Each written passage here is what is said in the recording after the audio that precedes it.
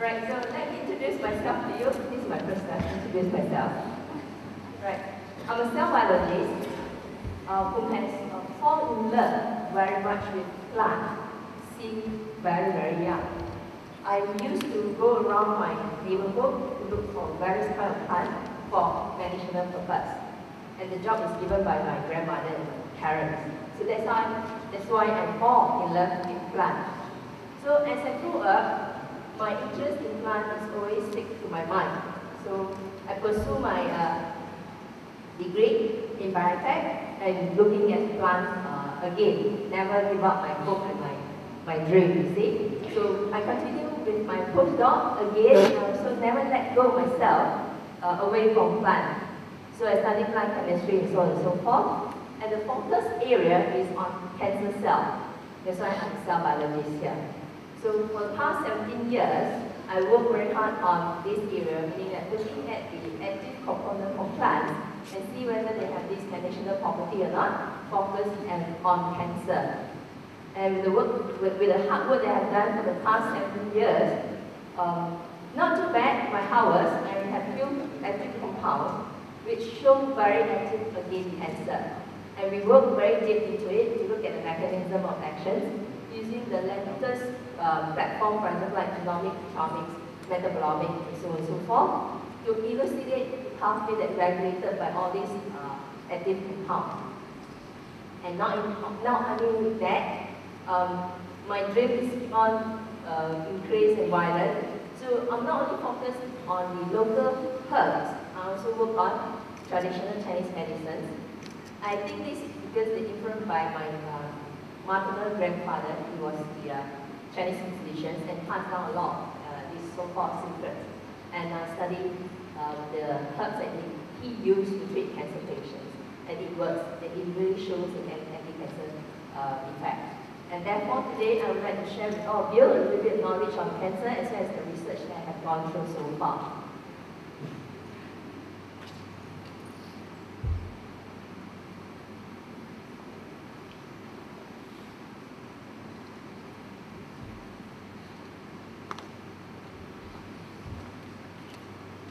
Right.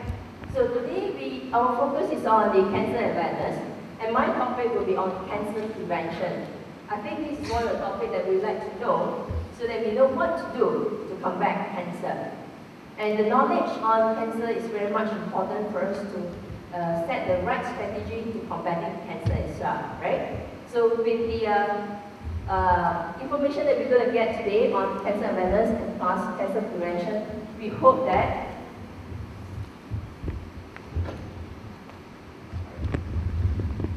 We hope that to reduce the incidence of cancer as much as possible. And we don't want to see the figures 1 in 10, 1 in 4 um, in future. We want to see if possible, we want to reduce all these incidents or death until the, the, the figure of zero, if we could, yeah, that's our hope, because we don't want to see a lot of people suffering. Alright. So currently, everybody, uh, everybody is aware that you know, uh, weather is a problem to us, too hot, too cold, landslides, things like that. We, we all burden with all these problems. There's a lot of people thinking of how to over, overcome it, correct enough, yeah? Um, not forgetting, the work, yeah, on cancer is still carried on, yeah? The problem that we had, just now I mentioned, uh, there is global warming uh, problem. We also do have global problem on combating cancer the fight, the, the, the war on cancer is keep on going and going. And this, the, the concept of uh, the war on cancer is actually by President of uh, Nixon, the US uh, President. He mentioned that we would like, at that point, he mentioned that we need to fight cancer and bring incidence down to zero, which is about 40 years ago. And the effort is still carried on and carried on. With all of us here sitting here, uh, we are actually trying to fight cancer because I'm pretty sure that one of the members of our family may or had cancer before. My family, we have several of them actually having cancer, and my father was a cancer survivor. I walked on with him yeah, many years ago. Alright. So as I mentioned just now, we will fight cancer again and again, I don't know, when, but here on the report from this magazine, Fortune, in 2009, they mentioned that we're going to fight cancer yeah, as a disease for the next 50 to 100 years. That was the uh, point that they made in 2009. Will this figure be reduced or increased? We are not sure. Yeah, because cancer is really a tough a disease that we can actually overcome it. Right. Why? Why I mentioned that? Yeah? It is because of the history of the research and also the report that we've uh, gotten so far tell us that the journey towards achieving the goal to overcome cancer, it is very hard and difficult. It is because in between we have this uh, detour and also uh, roadblocks. What are the things that are happening? What are the tour, uh, tours and also roadblocks that we have faced? Yeah. So here I would like to highlight three points which um, uh, causing us have to detour all the time and find a new way to combating cancer. So these are three things that would like to highlight today. Uh, one of the point is cancer formations or carcinogenesis take very, very long time. A normal cell, once being transformed, may take up to 20, 30 years, 40 years to form cancer. So the journey is too long. Yeah? So that is difficulty for us to combat cancer, yeah? to totally kill the disease. The second point here is involve multiple genetic mutations. So as we learned from Dr. Manisha's previous uh, talk, there are so many factors that can cause cancer, but eventually it goes to the genetic level. All these factors will cause genetic mutation and transform normal cell into abnormal cell and eventually become cancer cell. So there is multiple mutations. And that is the strategy that we have to put in so that we can actually target the right point at the right time. The third one I would like to highlight here, not only we having multiple mutations, genetic mutations, we also do have multiple signaling pathways that involve in cancer formation. Meaning that in, in order for a cell to become cancer, they, only, they are not only follow one pathway, one way, but there are many, many ways that they can go through and becoming cancer cell. If you want to kill cancer cell with pathway A, they can shift their mind, adapt themselves, and change to pathway B, and carry on with their life, and multiply like nobody business. So that is why I always mention cancer is a smart, is a, is a smart cell, smarter than us. So we have to work very hard to overcome them, get intelligence, so that we can kill them. So that is the multi, uh, multiple signaling pathway. And what I would like to add on here is with current research, uh, we realize that system biology will be the next big issue for us to tackle all diseases because they involve many systems in the body, uh, our body, yeah, which is our organ, things like that. So system biology is the next uh, huge topic for discussion and also for cancer research. So these are three main points as why we cannot combat cancer yet easily. So again, what is cancer? We also learned from Dr. Manisha what is cancer. Yeah? So simple as that. Cancer is a global burden. Don't you all think so? It's a global burden to us. It's a burden to me, it's a burden to you. It's a burden to everybody. Once a family uh, uh, having cancer, the whole family will be under stress. I still remember and still recall my family members, all of them under stress when my father diagnosed to have cancer. And the time is very difficult true, yeah? So that is the burden. And statistic, yeah? Back in 2008, we have 12 million, about 12 million new cases. But then in coming year, 2030, uh, we're going to have 1 million new cases. Why is why is this thing happening despite the new discovery, the new treatments that all scientists and clinicians work very hard on it to treat cancer? Why is this figure still increasing? Have you ever asked yourself why? Yeah? Must we have a reason behind? Yeah? And in uh, 2030, we're going to have 13 million cancer deaths uh, for all these cancer patients. So the number is so increasing. In Malaysia, this is the figure that I got uh, our uh, uh, registry, yeah, Malaysian registry. Uh, one in four will have cancer, and we have 21,000 uh, out of 25 million of billion that we have, the, uh, populations. this number of uh, patients will have cancer. Yeah? Right? These are the uh, main uh, cancer that commonly found among cancer patients. Yeah? And why is that? Show that we have lung, breast, colorectal, stomach, and liver. And why other cancers are lower incident? So somebody somewhere must tell us why only this type of cancer are famous, are common. Must be, have some reason behind, yeah? Alright. So a recap, quick recap of what we have learned from Dr. Manisha again, the factor, yeah, uh, cancer uh, causing factor here. So these are the uh, factors that actually contribute to genetic mutations and eventually transform normal cell into cancer cell. And it will take years, as I mentioned just now, it could up to 30 years, 40 years. It is actually depending, yeah? So now I would like to present all of you with a very short uh, uh, uh, video presentation of the transformation of normal cell into the cancer cell.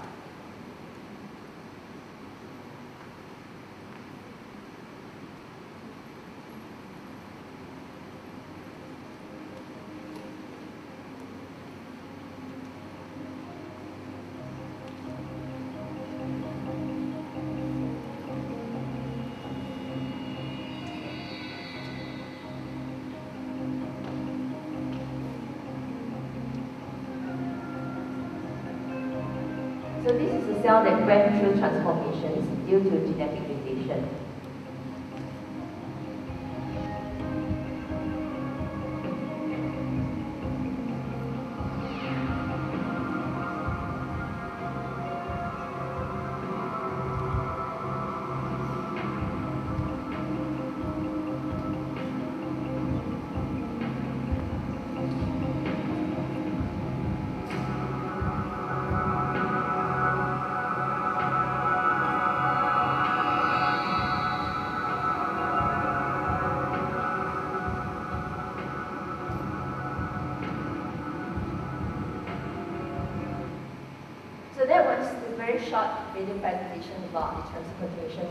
Of cell to happens very, very fast.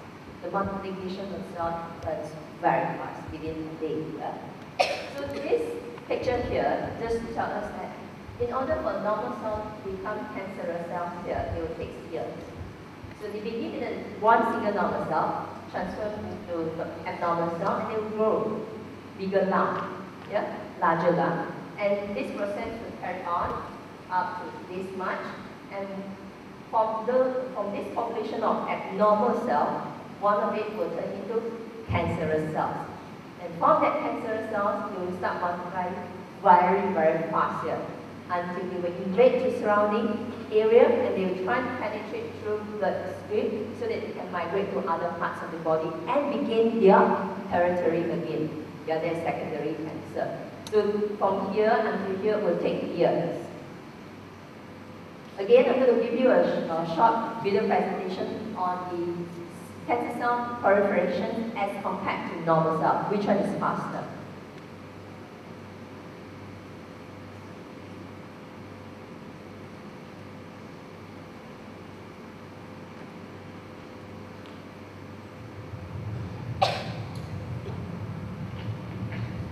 This is normal cell division.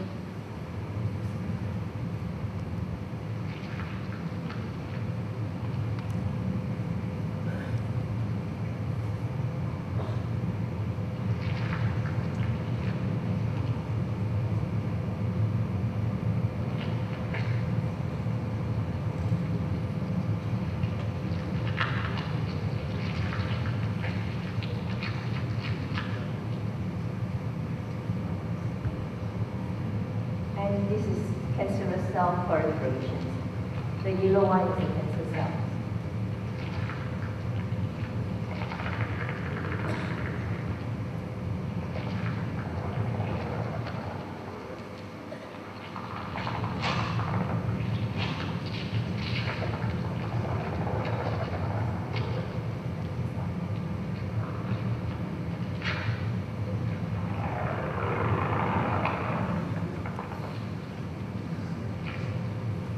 And this is comparison between normal cell and cancer cell division.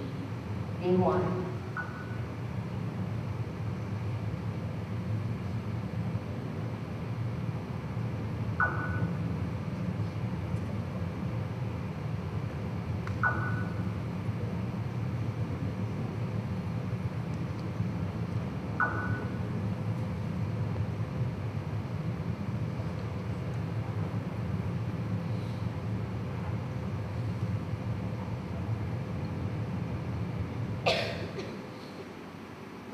So do you understand how far it is?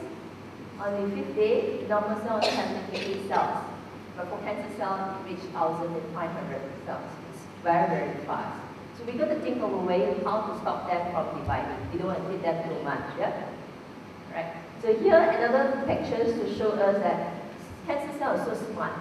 They have many legs and they have many hands, so that they can move around. So meaning that scientifically, cell can express many types of enzymes to digest, uh, digest surrounding tissue so that they can open their own path and they can migrate to other parts of the body.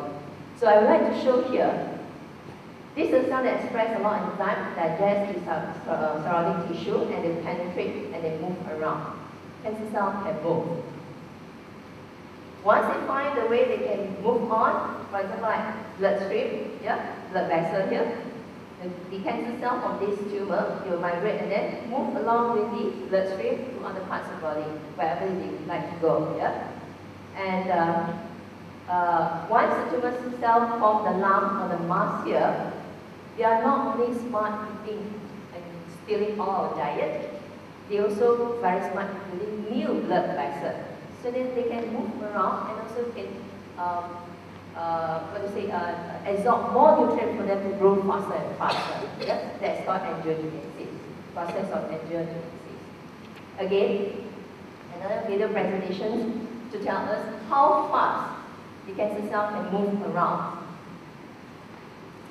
We, uh, Spread of tumors to distant locations is of great importance in cancer. About 90% of the deaths due to cancer involve tumors that have spread around the body. The movement of tumor cells to other parts of the body is known as metastasis.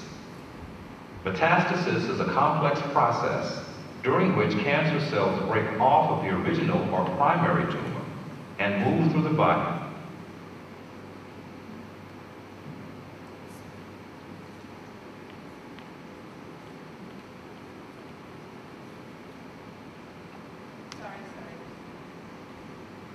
Spread of tumors to distant locations is of great importance in cancer. About 90% of the deaths due to cancer involve tumors that have spread around the body. The movement of tumor cells to other parts of the body is known as metastasis. Metastasis is a complex process during which cancer cells break off of the original or primary tumor and move through the body to form tumors at new locations. From the point of view of a cancer cell, this is a dangerous and often unsuccessful process. A trip through the body is full of hazards that cause the death of most cells that begin the journey, even tough cancer cells. To begin the process, individual cells must break away from the tumor and invade nearby vessels. The cells crawl along the surface of other cells and the fibrous, stringy structure surrounding them and then force their way in, Shown here is the invasion of the blood supply. Once inside a blood vessel, the cancer cells may perish from a variety of causes. Some cells die simply because they are unable to survive floating around in the bloodstream.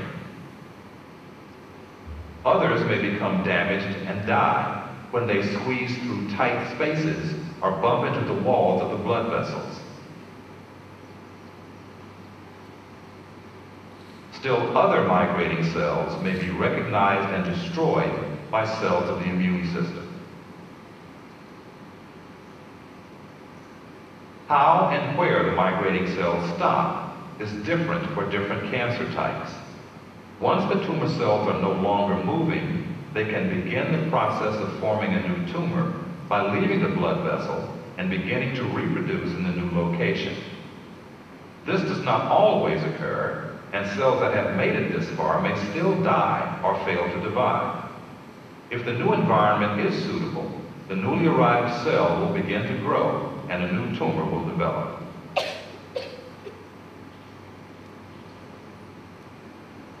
Right, so that is a little bit on the introductions on cancer and what's cancer. Now I'd like to focus more on research on cancer. Yeah?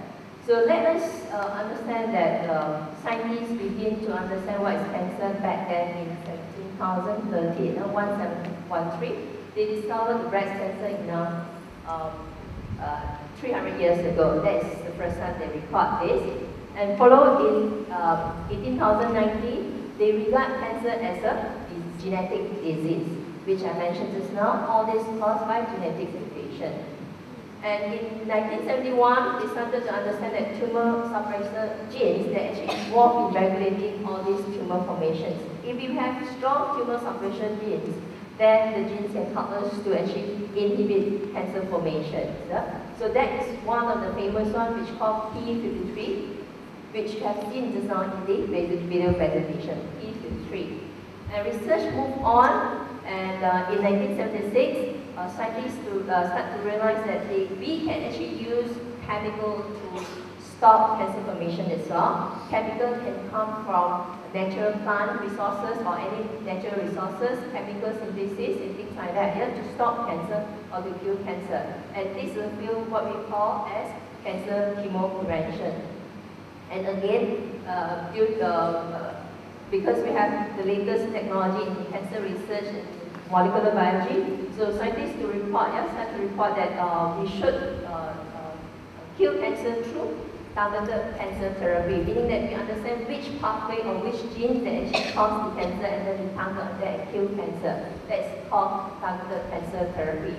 And uh, in 2003, uh, human genome on this uh, and also the cancer genome uh, project uh, been uh, released and we understand that many, many cancer actually happen due to genetic mutation and so on and so forth. There are many genetic related, yeah, uh, causing uh, cancer. Yeah? That is the one that uh, so far scientists report yeah, from the beginning until 2010. These are the milestones for cancer research. And the move still carry on. Hopefully that we can find the right target, the right strategy to um, kill cancer. Right. So here today I would like to focus on cancer prevention, which is my field study. It's one of the focus in cancer research. Uh, why is that so? Because I mentioned just now, from a normal cell to become malignant cell, they have to go through uh, many years. And also this is a process they have to initiate to become abnormal cell and eventually go through process of promotion to become malignant cell. So the target for cancer prevention is actually uh, aimed at this area here. Uh, we're going to have the cancer prevention because at this point here, the cancer cell can be reverted back to normal cell. And at this point, we also can kill the cancer. cell. So this is the beauty of the, uh, the, the time or the durations of cancer um, uh. Yeah? During this point here, during the promotion or initiated stage, we can actually divert the cell back to normal cell. That's why we want to focus here. Once they pass this point, they will go into the malignant cell. So that particular point, we can, okay, only think of certain strategy to treat cancer cell. Yeah, that's focus. So that's why I'm, I'm highlighting here. For early detection screening should be performed at early stage to detect abnormal cell. Then subsequently we will work on prevention so that we can prevent carcinogenesis to be happen. And last one, more on the treatment, which is a later stage. Yeah? Uh, we focus on treatment. Right, so cancer prevention research, yeah? Uh, what is that? Here is uh, in 2008, uh, the very famous Planta Medica Journal reported that uh, the promising of novel approach of uh, using uh, cancer chemoprevention to combat cancer. And what is that? Yeah? So as I mentioned uh, previously in my slide also, in um, 1960, by Dr. Lee Wattenberg, he is the father of cancer chemoprevention research. He's the one that started to um, uh, to promote using uh, natural product and chemical to fight cancer. Yeah. So the work is to carry on. It's still uh, since then we discover and find many many active components which can kill cancer. And again, cancer chemoprevention is a cancer preventive strategy to inhibit, to stop, to delay. Yeah. Don't let cancer cells grow so fast and reverse carcinogenesis process. So these are the phytochemicals that uh, has been found by scientists to show their effectiveness against cancer. And look at all these plants. I'm sure that all of us know all these, right? You know what is grape, you know what is honey, garlic. So all these fruits and vegetables containing phytochemicals that have anti-cancer effect. If every day we consume all this, I'm sure that we are actually very, very healthy. Yeah? And all these chemicals that are extracted from all these fruits, vegetables, or herbs, they actually target at all these uh, cancer pathway. As I mentioned just now, many cancer signaling pathway, right? So these are pathways they are actually targeting at to kill the cancer. Here I would like to show you, this is part of my uh, herbal plants that have been screened for anti-cancer and all these they have anti-cancer property, they have anti-component inside. So this is only the few of 100, more than 100 herbal plants that have screened in international uh, Malaysia, Malaysia uh, the past six years. I collected more than 100 plants that have anti-cancer property and this is a famous one, yeah, uh, that have this effect. I'm sure all of you know all this plant, right? You've seen this, correct now? Your neighborhood or you yourself also have it. Uh, I would like to highlight this plant. Kerbong, bunga kerbong. We thought it's, uh, we thought it's normal plant, but has uh, anti-cancer component and we managed to isolate the pure compound and it is very active and we have currently work on the mechanism. And this uh, another one tuber. It's a very rare tuber and consumed a lot by uh, our Malay friends, not many among Chinese. It's called wheat baby. Yeah. So you also have the uh, uh, component. Yeah. So this is a methylene acid isolated by myself here from this tuber, and we work on the projects for many many years. And beside this tuber, this uh, methylene acid also can be extracted from these various sources uh, from the uh, European country. And uh, the work that we have done, we have published on international journals on the uh, regulating factor on the pathway by this compound uh, in the four papers here. And uh, uh, subsequently, we proceed to look at more and wider effect of this compound, and we're using genomic platform to review uh, what are the types or what are the pathways that can be regulated by muscarinic acid using genomic platform or technology. Look at the various global genes expression and we found that this particular compound can regulate all these pathways in Raji cell, uh, lymphoma cell. So we are very excited with this uh, uh, work here. So my work doesn't stop at uh, local herbal plant. I also move on by using traditional Chinese medicine, which I'm using my grandfather's uh, prescriptions uh, to work on cancer, anti-cancer property using the latest technology of uh, genomic analysis.